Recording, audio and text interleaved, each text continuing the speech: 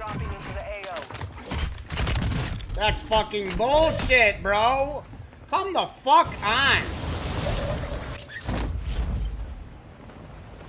I grab a gun. Look, look. Oh my god, bro.